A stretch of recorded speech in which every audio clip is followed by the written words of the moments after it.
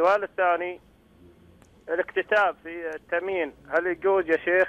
جزاك الله خير بالنسبة للاكتتابات في بعض الشركات وفضيلة الشيخ ما حكمها الشرعي؟ لا هو يسأل عن التأمين. نعم. التأمين نعم. لا يجوز. التأمين التجاري لا يجوز لأنه أكل لأموال الناس بالباطل. التأمين التجاري لا يجوز. نعم.